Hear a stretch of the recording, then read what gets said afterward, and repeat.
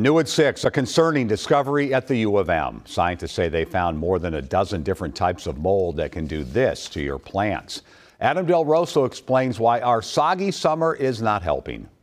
At first, this rhododendron plant just looks like it needs a little extra love. But through the microscope, you'll see something more destructive. It'll cause like a wilting or uh, it'll kill the tree or plant outright. Um, it's really species specific, but basically mortality is the end goal for the, for the pathogen, and it's really good at what it does. It goes by the name Phytophthora. It's a water mold that can kill many different trees, plants, and crops.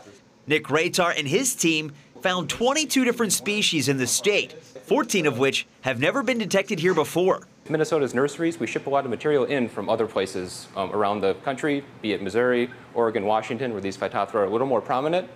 And then they come, that, that's a potential avenue for the phytophthora to come and be introduced into Minnesota's landscapes. Rajtar is leading the research at the U, sampling plants and trees from all across the state. He says the phytophthora love our recent wet weather potentially helping them spread even faster. It, it's a big concern, yes, for farmers, homeowners, and for like our state parks. You like going and hiking around with a nice canopy over your head. You imagine if the trees die, you wouldn't have any of that. Rajtar says his team will continue to collect samples to help with detection, but the next step will be to find out just how harmful these minuscule mold spores can be here in Minnesota. If we know who's here, we can help mitigate the losses and the introductions into the landscape and hopefully, you know, not cause a lot of urban loss or natural stand loss.